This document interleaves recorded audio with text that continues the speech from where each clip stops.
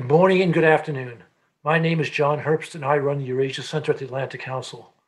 I'm delighted to bring to you today an event on Mr. Jones, the movie. Our hostess, our moderator for the event is Anne Applebaum, world-renowned historian whose book, The Red Famine, makes her the absolutely perfect moderator for this event. Anne, over to you.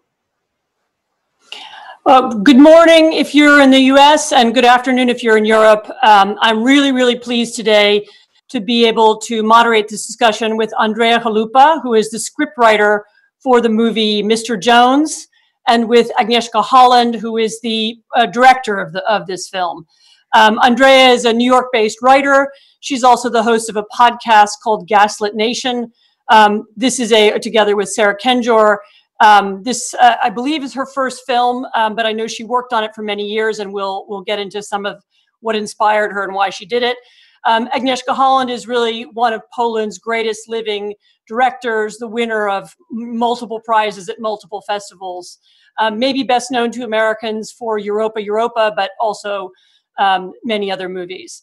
Um, before we start our conversation, we're going to see a very short trailer for the film. So this is Mr. Jones.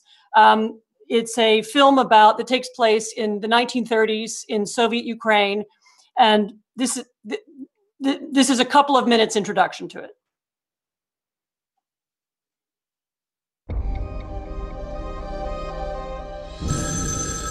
Alio? Paul, I need your help. Arranging an interview with Stalin. Go see Walter Duranty at the New York Times. Listen, I really need to talk to you. I found something big. It can break the story wide open. Paul?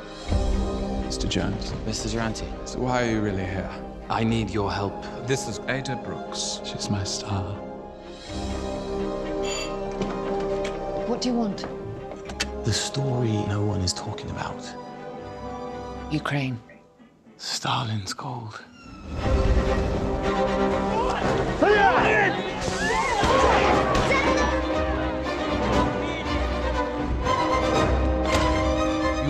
Retract your statements to the press immediately. Or they will shoot our engineers.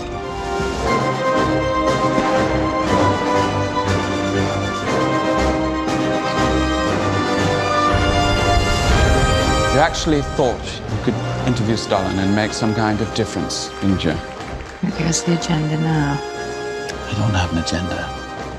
Unless you call truth an agenda.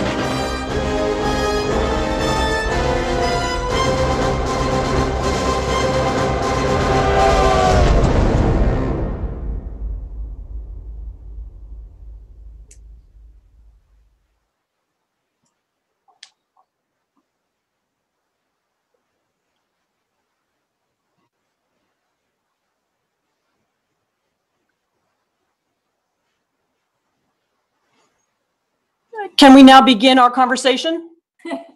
yes, okay, thank you. Um, so, for those of you just joining, um, that was a clip, uh, that was the introductory clip to the film Mr. Jones. Um, Mr. Jones is the story of Gareth Jones, who is a was a Welsh. He was a journalist, but he was more than a journalist, as, as we're going to discuss in a minute. Who uh, visited Stalin's Russia in 1933 to investigate a story that he knew about. Um, and this was the story of the, the famine that Stalin had inflicted on the Ukrainians, um, that was at, even at that time when he was there, was killing millions of people. And, um, and and he sought to find it and to and to and to tell the world the story. Um, it's a very contemporary story because you know this was the 1930s version of fake news. So there was Stalin was denying there was a famine most of the Moscow press corps wasn't reporting on the famine. Um, yet Jones was um, one of very few people. There were one or two others, but he was one of very few um, who not only dared to tell the story, but also went to Ukraine at the height of the famine. Um, it's quite a difficult story to tell. Um, it takes place in a time that's now unfamiliar to us, um, characters who we don't know. but I, I think it's very. I think the film has been very successful in bringing home um, both the events as they happen and also um, there are clear echoes for some issues in the present time in the movie as well. Um, as I said in my introduction, I, I have here with us um, both the scriptwriter Andrea Chalupa and the um, director Agnieszka Holland. Um, Andrea, let me start with you um, because I know this was the film had this was your inspiration in many ways. Um, tell me first of all what brought you to the story, um, and then describe for me some of the challenges you faced in trying to write this kind of script. Well, thank you so much, Anne. Um, huge admirer, longtime fan of your work. So this is a big uh, moment for me personally, and I appreciate all that you've done as a historian to, put light on this. Um, so for me, this story began with my grandfather growing up in Northern California, very far away from Wales. Uh, my grandfather, who's from Donbass, Eastern Ukraine, which is now um, being invaded by Russia. Uh, my grandfather was the world to me. Um, and I remember, you know, getting donuts with him on Saturday, going to the park, and when I got older, I started to understand uh, what my grandfather endured in Ukraine under Stalin, including um, Stalin's genocide famine against Ukrainians. And shortly before he passed away, uh, he wrote down his entire life story. He wasn't a writer, but he felt compelled to leave behind his testimony.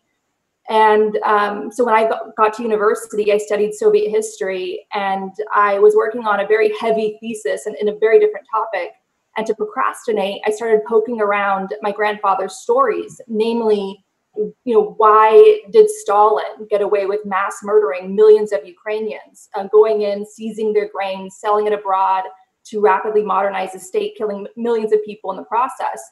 And I knew about Walter Duranty, the Moscow bureau chief of the New York Times, as a little girl. I mean, and I and I was I was just very um, driven to understand why would a journalist uh, go against the ethics of his profession? and and being in, at university at the time, the more I dug into Duranty, the more I got pulled into his story. He was really the gateway drug into the film. Uh, Sally Taylor's great book, Stalin's Apologist, um, Duranty's biography, talks about these wild satanic sex orgies that Duranty would have in 1920s Paris. He was friends and lovers with the Satanist Aleister Crowley, who inspired uh, the Rolling Stones to write Sympathy for the Devil. So, of course, as a college student, this was all fascinating. And um, we show a glimpse into this hedonistic uh, lifestyle in Moscow. And even in Moscow, when, when Duranty was there as a, as a social ringleader, he would engage in these vile avant-garde parties that were, were you know abusive towards some of the locals. There's one horrible story where they that Sally Taylor writes about in her book, uh, where they bricked a Russian girl and a Russian boy inside a wall at a party and kept them there all night and they thought that was hilarious. Duranty remarked about how, you know, how entertaining that was. So for me, I just really wanted um, to expose him and to give justice to Gareth Jones and and and to force some sort of accountability because this had been um, uh, this uh, this was a little known story for so long. And I think one of the challenges was grounding people in the year 1933, which was a crossroads year for humanity uh, we we begin the film Mr. Jones when this goofy, um, uh, underestimated politician Hitler has just become chancellor of, of Germany, and at the time uh, the West is just too tired from the from the Great War to deal with Stalin. So it was very difficult, I think, um, to give the audience the information they needed they needed to understand that these two massive asteroids Hitler and Stalin had just hit the earth, but humanity had yet to really catch up to it at this point in the story. Yes, I suppose we should back up for the audience who hasn't seen the film a little bit and explain that the main character is Gareth Jones, and he's a Welsh journalist who actually interviewed Hitler um, and who also talked his way basically into Stalin's Soviet Union. Um, Walter Duranty was at that time the New York Times correspondent in Moscow. Um, and the one of the great you know, one of the most fascinating stories really of that era is the kind of tension and competition between the two of them because Gareth Jones was the truth teller. Um, he wanted to tell the truth about the Soviet Union, and Duranty was the one who covered it up. And so, very, very carefully and systematically, actually, Duranty went out of his way not to tell the story of the famine. Um, and even when Jones's material finally came out, um, he he bent over backwards to dismiss it. He kind of patronizingly wrote about Jones and said, well, this clever young man, you know, speaks a bit of Russian, but he doesn't really understand this country. Um, and there's a there are some deeper mysteries there, which is why this happened. You know, what what was Duranty's motivation? Um, and in in your film, you you portray both of them. You know, um, and and and the clash between the two of them. Um, and some of the there's a kind of argument about Duranty being corrupt and decadent and so on. Um, but one could also say um, this is a story about the whole Moscow press corps at that time. No, so so why wasn't Stalin's story? Why wasn't the, the true story of what was happening in Ukraine being told? Well, I think it's the same uh, tensions and pressures that journalists are under today, even. Um, being a journalist back then, like today, was uh, a very insecure profession. It's a it's a socially uh, dependent profession. You you writers are very much dependent on their relationships with editors. So as a result, you have a lot of uh, conformity you have a lot of reluctance to really go out on a limb because you could lose your livelihood. So reporting on the famine or, or doing any dangerous work uh, as a journalist in 1930s Moscow would get you kicked out of the country and you could risk losing your job. So one of the challenges in making the film was I got drawn into this dynamic world of, of leading credible journalists that were the window for the rest of the world into what was what was going on in the Soviet Union during this this very exciting time when the world was turning to uh, Stalin as as a beacon of hope. You had the Great Depression ravaging uh, the rest of the world, and so people were really looking at the workers' utopia as as a solution uh, to what, what to all the, the world's troubles of, of, you know stabilizing things and, and building a better future. And so these journalists, these Western reporters, carried a lot of clout. They had a lot of power and uh, when you when you dig into the research, it was incredible that this famine was raging uh, r- right under their noses. They knew what was going on, but they refused to talk about it. They refused to touch it. And Gareth, being an outsider, being young, not being a traditional journalist, he he had a, a number of different interesting jobs. He was a total outsider. He was like this cowboy that came into town and blew the lid off this thing, and, and very much broke up the the uh, party.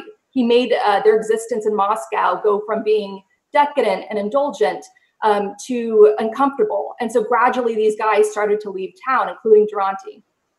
Right. Um, I should say I'm gonna I'm gonna now ask a couple of questions of Agnieszka Holland. To those who are watching, if you want to ask questions either to Andrea or to Agnieszka Holland, um, there's a Q&A function that you should see at the bottom of your screen, and please type in your questions. And little in the second half of the program, I will um, I will read some of them aloud. aloud. Now, another aspect of the film that people should understand is that there's a there's a very difficult series of scenes um, when because Gareth Jones did eventually get to Ukraine. Um, the way he did this was by getting an invitation. He secured an invitation to go and visit a factory um, in Kharkiv in, in, in Ukraine, and he he took a train from Moscow. Um, about halfway there, um, he got off the train and started walking down the train tracks. Um, and he did this, this was in March 1933. And so it really was actually at the height of the famine. Um, the famine had begun um, essentially the previous win- fall and winter when um, mo- much of what the Ukrainian peasants had in their houses, not just grain actually, but all kinds of food, you know, beans and peas and meat and livestock and all kind everything that they had in their storage was literally taken away from them. So this was not a famine that was caused by drought. It wasn't caused by some accident of nature. It had been caused deliberately um, by Stalin um, for a variety of reasons we can talk about. Um, one was to get the grain and to sell it abroad. Um, another reason was to tamp down rebellions that he feared were coming from from from Ukraine, and it was it was a kind of political punishment for the Ukrainian peasants whose whose um, whose rebelliousness he was always had always been afraid of. Um, but but Jones got off the train and he started walking down the train tracks through these Ukrainian villages um, at, a moment when people were really starving to death. And the in a way, the emotional height of the film is when Jones gets off the train and enters Ukraine. And there's a very striking series of scenes that take place in starving Ukraine. And Agnieszka Holland, um, I wonder if you could talk about the decisions you made about filming those. Um, there's a scene with children's, you know, where where their children, um, you know, star who seem to be eating human flesh. There are scenes where um, you know, Jones is running away from from peasants. Can you describe to me how you thought about making this is a very difficult kind of theme to film?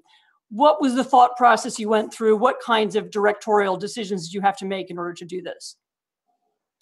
Well, um, good morning or good afternoon, and um, I'm really thrilled, Anne, um, that I have the occasion to talk to you through this Zoom mean.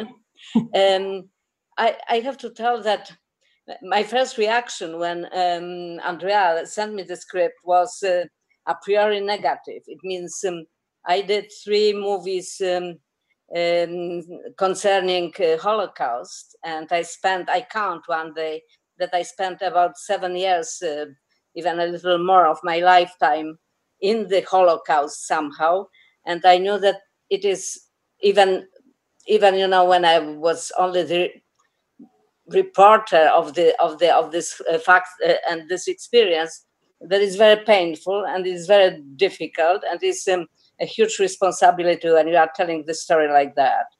Uh, and because those movies has been somehow um, somehow successful, three of them received um, the Oscar nomination. Uh, I, I, I didn't stop to receive the scripts about the human um, tragedies and historical tragedies, um, Holocaust, uh, Armenian genocide, um, uh, Rwanda, Kampuchea, and so on. So when the script about uh, Ukrainian famine Stalin's famine came um, on my table, my first reaction was, I, I, I cannot, I, I cannot tell it anymore. And then, then I started to think, it means I started to think before even, there is something incredibly unjust uh, in the fact that the Stalin's crimes and communist crimes altogether didn't enter the global conscience, that the, uh, as much as the Nazi crimes are the part of the of the of the of the memory of the of the humanity, uh, communist crimes um, vanished somehow. Uh, they uh, even with such a great uh, books like uh, Solzhenitsyn and um, Your Gulag and um, Timothy Snyder's Bloodland, uh, Bloodland and and others, um, it it was like forgotten and forgiven. And um, I um, I find I find it very unjust and also dangerous. Unjust uh, because those victims uh, remained nameless and voiceless, and um, dangerous because it means that we cannot um, learn the lesson, which always comes from these dark moments of the of the of the history of the humanity, and that um, in the present and in the future, uh, the form of that can come back without any kind of the warning. So I was thinking that because the film series, and this audiovisual narration is um, is very powerful, um, a powerful tool to uh, to wake up the the the the, the, the humans' uh, emotions and empathy. Uh, I thought there is some kind of the duty to to tell those stories. Um, Another reason it was the relevance of the story and what you've been talking um, about the, the, the, role of the media, of the journalists, the fake news, propaganda, the polarization of the of the societies, which uh, means also the polarizations um, of, of media and so on. Um, after after doing uh, those few films about Holocaust, I, I knew how how terrible difficult it is to show the um, horrors and um, when when I decided to tell the story of, of uh, Gareth Jones and Ukrainian famine, um, I started to think also how I can find the language and images, imaginary, how to tell the story, which somehow is similar to the ghettos or concentration camps when the people also have been starving from hunger, but in the same time is different. It's something different about it, something very different about it. And I knew that if I will not grab the truth, like also some kind of artistic truth, um, the, the movie will not work. That that is the heart of the of, of the story. And we started by by that. We, we our first shooting day was uh, in minus, um, minus 15, 20 degrees of Celsius in the Ukraine with very deep snow, which we didn't expect because it was beginning of March and with the global warming, normally it was never like that. It just came for us, I think. Um, and um, and um, I was thinking that dying of, of, of hunger in such a circumstances, your houses, or it, it, it means silence, loneliness, emptiness. Uh, you don't see blood, uh, you don't uh, hear uh, cries or shouts. Every is silent and distant somehow. Um, so we decided to, to, to do it in very minimalistic way. To uh, the colors went practically to black and um, white, not completely, but it's saturated. And it happened also because of the snow and because of the of the of the um, older um, wooden houses, which been which been the Ukrainian um, country houses um, in this time. Uh, and um, this the silence means also that the people have been dying voiceless. What stri- struck me the most when I read several uh, several um, articles and books uh, about the famine is uh, that the historians are till now arguing um, how many victims there have been. And the, the, the range is between three and a half and eight and a half, nine millions. It means it's the gap of five millions. It's incredible that that the gap can be like that, that we don't know the names of that, that our data have been erased, that that it's very, very, very little of the of the of the documents, and uh, not graves. You, you know, I and and and silence after, which followed after, because it was it was forbidden to speak about it and it was dangerous that people um, when talking about the famine been been arrested and sent to uh, to gulags so i try to to express those feelings i i, I had when i was imagining um, this experience Mm-hmm. Thank you. Yes, um, I, I've been to a memorial for the victims of the famine um, that was a couple of hours outside of Kiev. And one of the striking things about it was in one village was there was a exactly as you say there was a list of names, but there was also kind of just surnames, and then it would say plus three children, you know, or the you know the the something family, you know. So there were there were some idea of how many people died, but you know it was unspecific. There were no names and so on. So yes, there was this um, this this tremendous um, silence. Um, well, before you came on, Andrea and I were talking about the difficulties of portraying this era. You know, is that the year 1933 is one that is somehow lost to us. I mean, we think of it as the year Hitler came to power, um, but it's also the year of the Ukrainian famine. It's also the year um, of the beginning of what eventually became the, the, the purges and so on in the Soviet Union. Um, uh, Agnieszka, when you were when you were thinking about um, Moscow and how to show what people looked like and acted like there, um, what sources did you draw on? Who were you thinking about when you were when you were making those scenes of the of the city and of the way that people interacted there?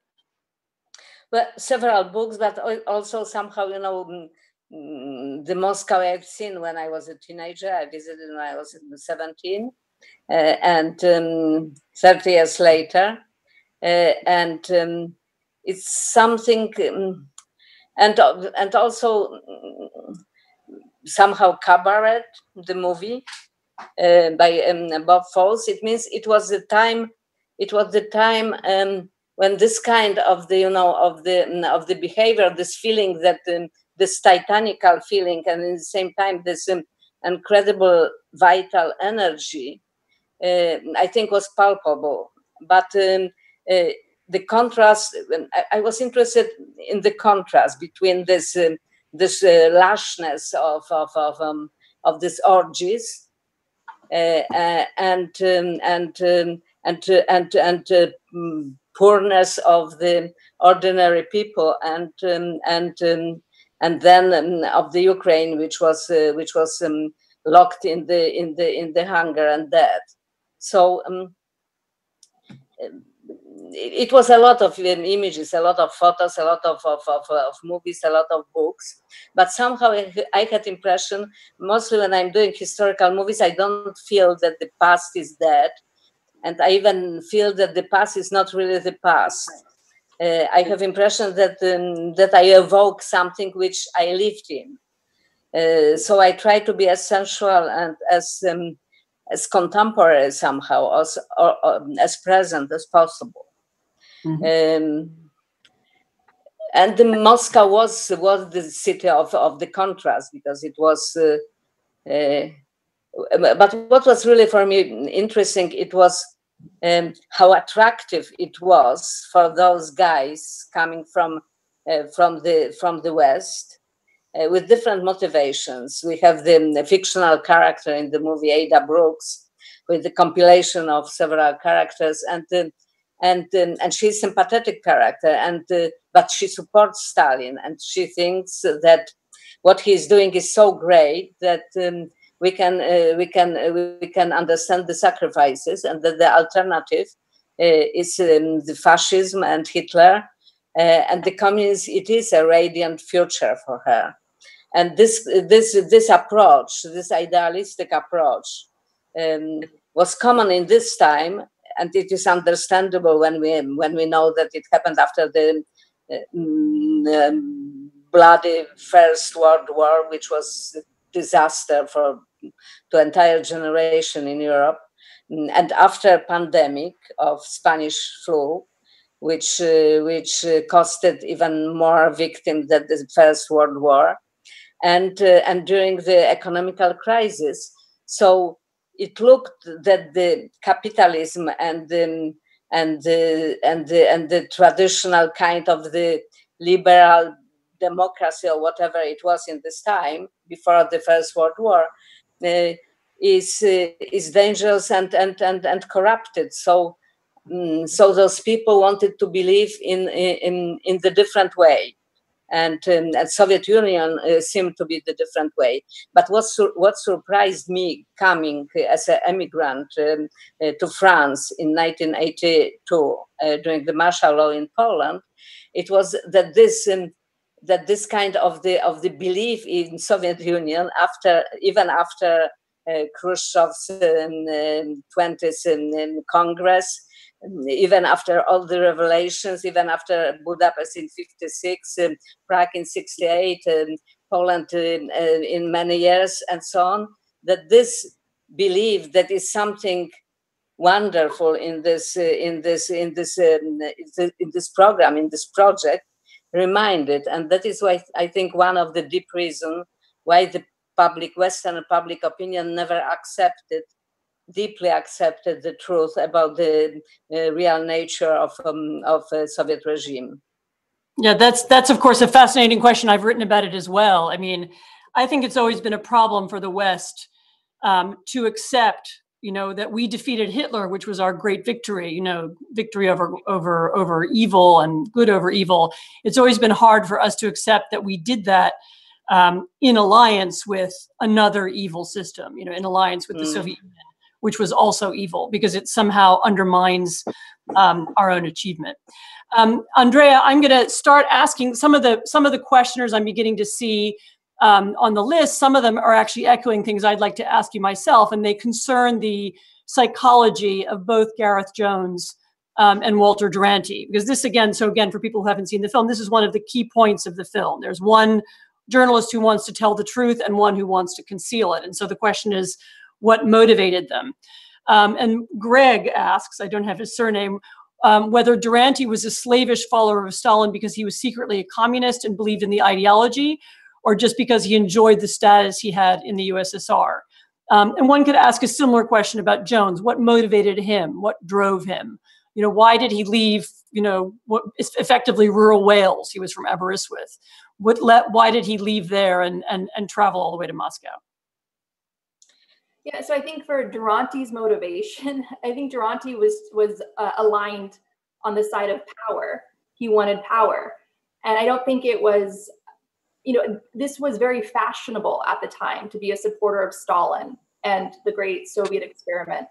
And Duranty had this sort of um, strange, complex personality, being a very dark, complicated person, that he could thrive in a far off post in an exotic location of Stalin's Moscow. He was the king of, of, of that expat social life um, because of his larger than life personality. And he enjoyed that celebrity, he enjoyed that power. I think ultimately he he wanted to be a celebrity. It was just a classic story of access journalism, and a, a classic story of journalists um, not doing their duty because they were more enamored with their proximity to power. And in exchange for that, Duranty got to be a uh, interesting uh, figure every time he went to New York City. He would go to the Algonquin Roundtable. Um, there was um, he met with FDR when FDR was running for president, and FDR called it the, the most interesting meeting, you know, one of the most interesting meetings he ever had. Uh, so I think when, you know when Peter Sarsgaard and I were sitting down to really geek out over all the research into Duranty, that's really what the focus was. That Duranty just chose the life of celebrity, and to have the life of celebrity as a journalist, you're essentially um, committing a great act of, of access journalism. So you can be next to power and and and have that power radiate off you and, and have that um, influence. Uh, so, for instance, after the famine happens, after millions are killed uh, deliberately, what happened? Thanks to Duranty's help, you have the U.S.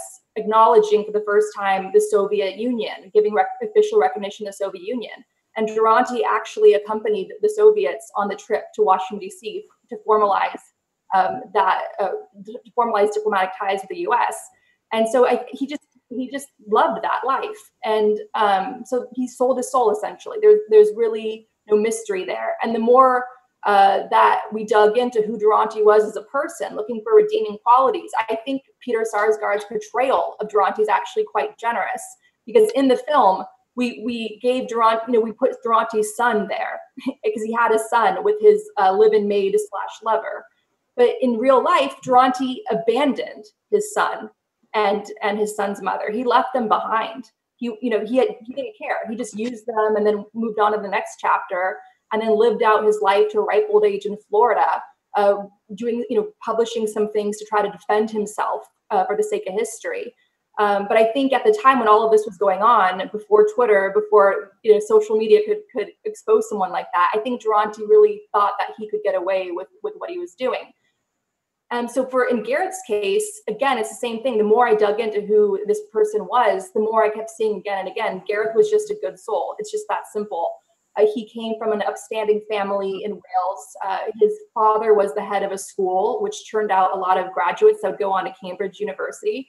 And his mother was ahead of her time. She was a governess working for um, the, the, the, big Welsh steel magnate Hughes in, in uh, what is currently Donetsk and so she lived out in in Ukraine, which uh, as a young woman, which was you know very brave of her. So Gareth, of course, grew up with her stories of adventure and was and felt an affection to Ukraine even as a child, certainly. And that's what kept drawing him over to that part of the world. He, in, in um, historically, Gareth went to the Soviet Union three times, but obviously, for the sake of uh, efficiency for telling this tale, we we made this his first big trip to really open his eyes to it. So we subjectively experienced this through him. But so I think um, I think Gareth was just a young man that was raised right and had a good head on his shoulders and wanted to do what was right. And he was and he just had such a um, a nonconformist, stubborn, independent mind, and that's ultimately um, what um, led him into danger and and um, likely got him killed with that you know very risky reporting trip he took uh, um, as a young man into Inner Mongolia. So, um, so again, just both both Duranty and Gareth Jones. The more you dig into them, you know, the, the more good you see on Gareth's side, and the more rotten you see on Duranty's side. And I think to balance out this story of good and evil, we needed to show our Gareth Jones as a bit naive and in a bit of a, a you know, just taking these these risks that seem almost self-destructive. And then on Duranty's side, we had to show um, a, a, father to try to humanize him. But the real historical Duranty was a monster. Um, yes, I mean, for those who don't know, I, so I wrote a book about the Stalin's war on Ukraine, about the Ukrainian famine, and one of the details I uncovered was the, a description of a dinner that was given in New York um, at the time of the American recognition of the Soviet Union, the official diplomatic recognition. And at the end of the dinner, there was a standing ovation for Walter Duranty. So we're talking about somebody who was really a famous journalist in his own time, um, very, very well known um, figure. Um, Gareth Jones, I always also I've I've found intriguing. I've met some of his family, and um, over the years. You know, in some ways, he was just also a kind of adventurer. I mean, he was very young. He was in his 20s at the time. He was sort of a journalist, but also someone who was just trying to get into places because he was interested. Um, and that's, I think you, I think you show that actually very well in the film. Um, there are several questions here um, um, that are that are directed at both of you. Let me take this one. Um, this is a question about Orwell because Orwell is in the film as well, and of course, in real life, Orwell and Gareth Jones did not know each other. Um, so there's a question about why he's included in the story, and maybe I'll direct this first at Agnieszka Holland. Um, you know, how did how did you incorporate Orwell into the movie? What did you um, did, did you have any difficulties doing that? As I said, given that this is a this is a kind of fictional aspect of the story. That is a bit controversial decision because some people find it unnecessary, and I love it. It means it was one of the of the reason why I started to imagine the film and connecting this, you know, this. Um, metaphorical um, dystop- Orwellian dystopia of Animal Farm and the story of the famine and the story of, of Gareth Jones, uh, Mr. Jones, um, uh, like the hero of, um, of Animal Farm was named um, as well. Uh, it, um, it put for me the, the, the, the narration on different, more exactly more metaphorical level. Uh, and um, and also um, allowed us to make some elliptic narration because it's short pieces of you know Orwell and uh, Orwell writing Animal Farm help um, helped us to push the story forward in different way if we um, been following the the, the linear um, narration. Uh, and I'm not sure if they didn't meet actually. You know, when when we've been analyzing their lives and situations, and it appeared very possible, credible, uh, and I was even sure somehow that they have to meet. Um, they've been less or more of the same age. In the film, always older is just because we, we, we love this actor who is older.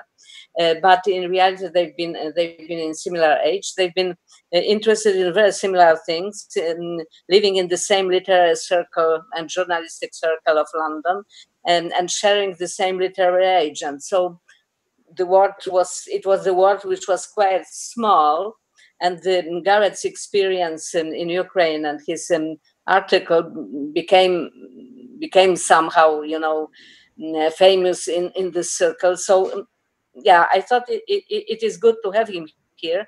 And what was interesting for me in uh, this opportunity to show that even Orwell, with his um, um, incredible intellectual honesty, he didn't. He had. He didn't want to accept it. Really, he wanted to find the excuse uh, for Stalin to to show exactly how powerful uh, this um, this blackmail of the you know of the radiant future was. Um, so and and about Garrett, we don't we know as as you know Anne as well because you've been talking to the family and reading everything even more certainly than I did.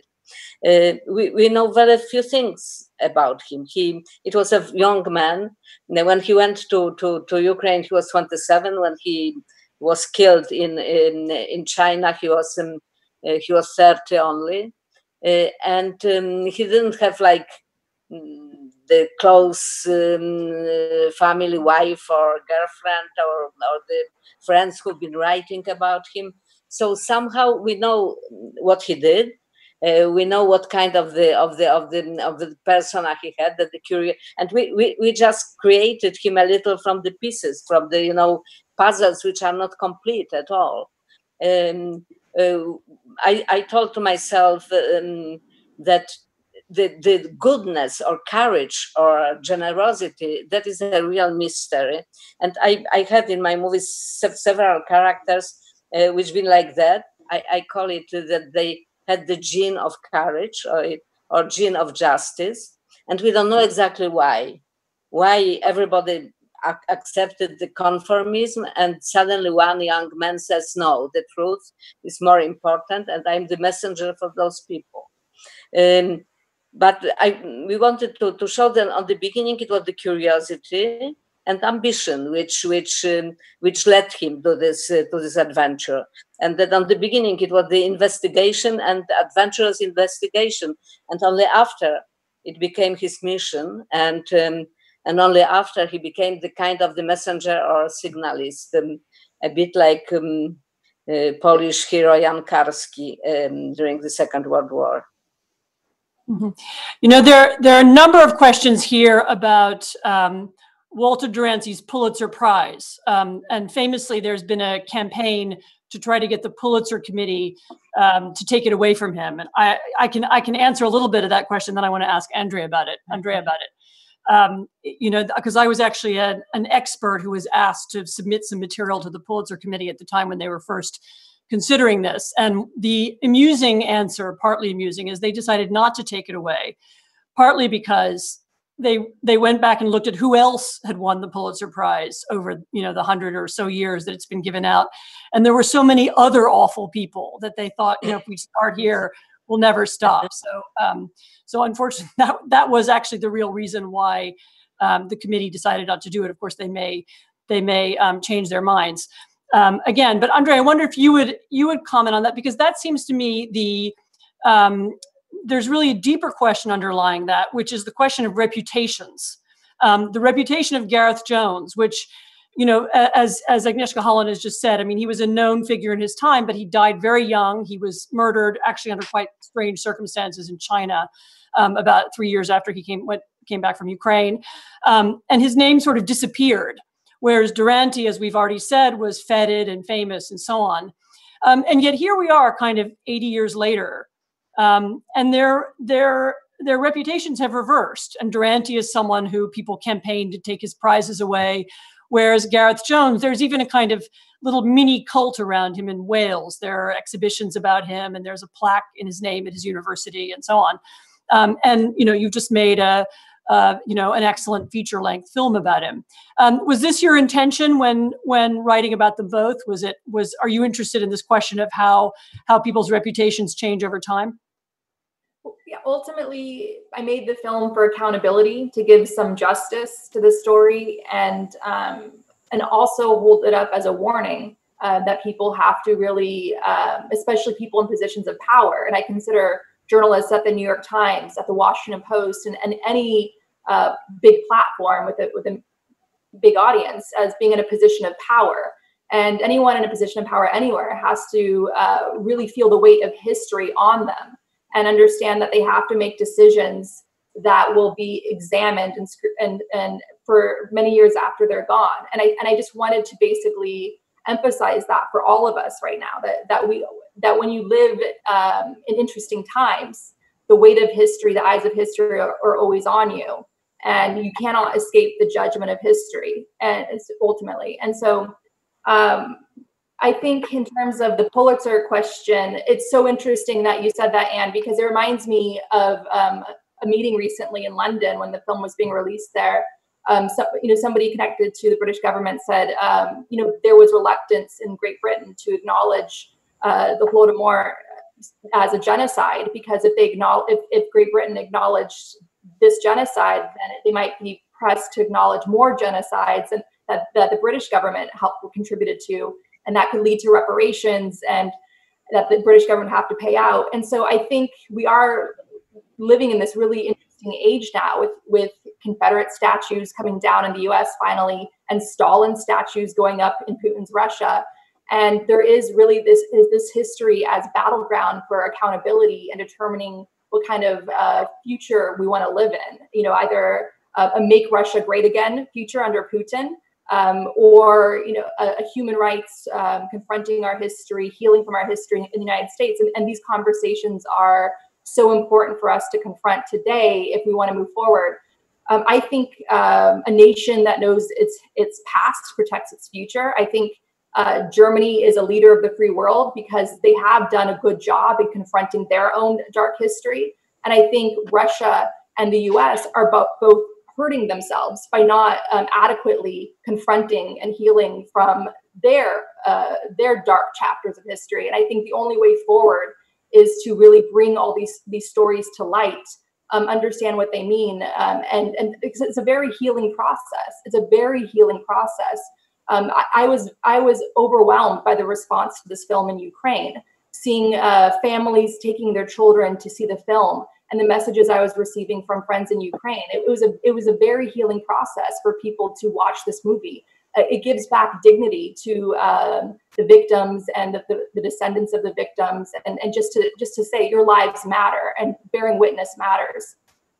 Right. No, thank you. There are actually several questions about the reaction to the film in Ukraine, and also some questions about how much Ukrainians know about this story. And actually, I think the answer to that is right now it's a lot. I mean, it's a it's a it's part of Ukrainian popular culture. This the story of the famine and even the story of Gareth Jones are are are understood pretty well. There are also some questions about um, reactions from Russia. Um, and I wondered actually, strangely, if I could direct that first at Agnieszka Holland and then maybe at you, Andrea. Um, do you do you think about how Russians will watch this, or how? Um, yes, you know, but something uh, take into consideration. Mm. Go on. Sorry. Um, but uh, Russia didn't buy the film, and when we premiered the film um, in, in at Berlin uh, Film Festival um, over a year ago, the only really hostile reaction came from the uh, Russian uh, journalists and uh, film critics present at the festival, and um, they consider that it's a lie that we are not telling truth. And that the history was different, and that is exaggeration, and the famine was just a famine, and Stalin had nothing to do with that, and so on. So they've been, um, and of course, um, uh, no distributor um, bought the film for the for this uh, Russian distribution.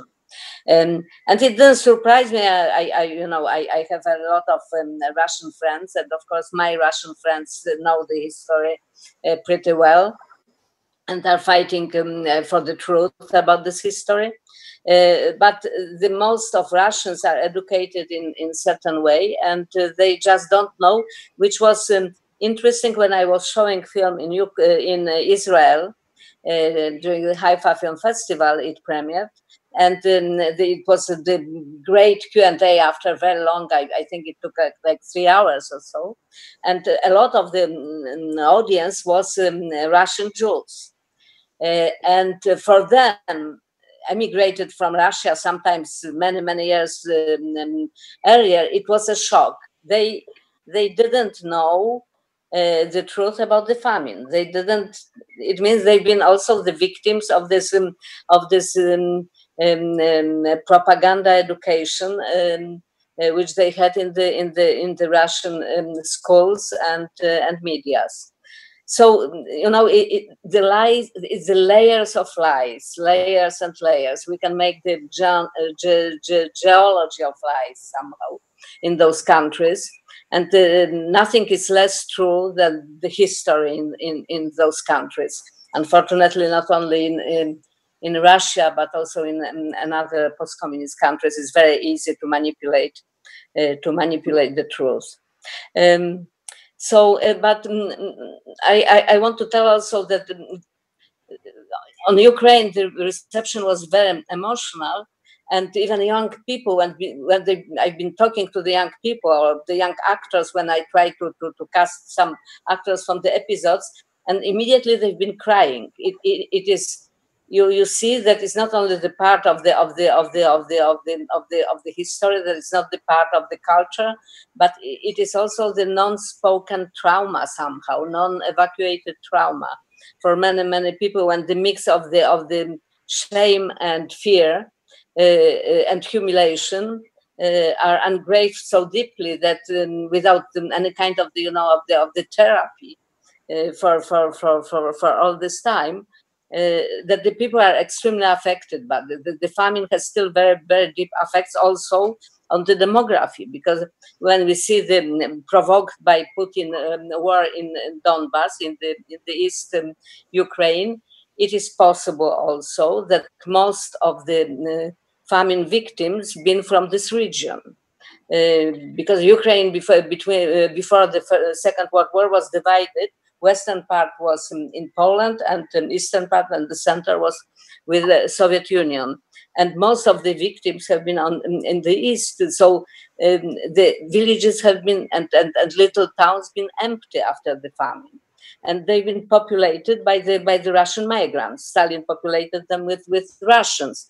So uh, the inhabitants, today's inhabitants um, of of Donbass, are in the big part the, the the the heirs of um, of Russians migra- migrants and now the um, um, local Ukrainians. And it makes this this um, political situation uh, even more complicated and tragic.